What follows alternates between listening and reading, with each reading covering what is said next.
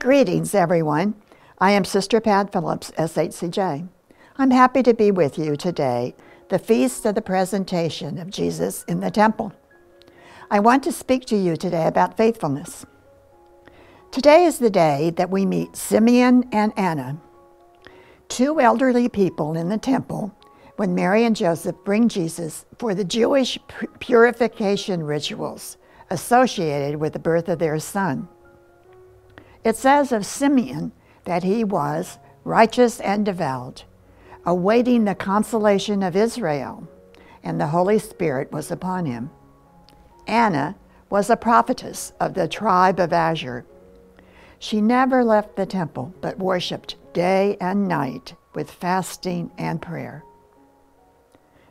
These two are examples of habitual faithfulness.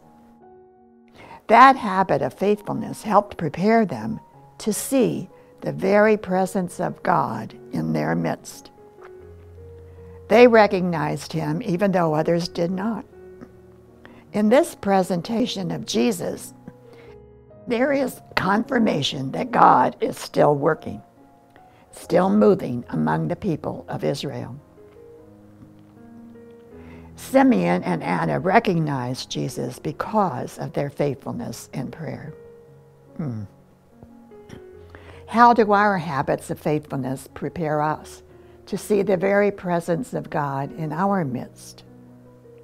If we are faithful to prayer, to the commandments, to love and compassion, then we will be able to see God in our midst as well we will be able to recognize God in ways that perhaps others cannot.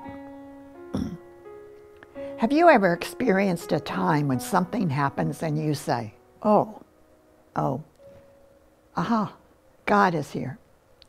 It may not be a big, big miracle, but a little thing that happens, and you know God is near.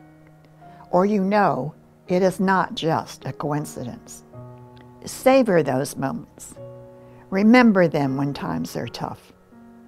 God will see through it all. Let us pray. Loving God, help us to remain faithful to you.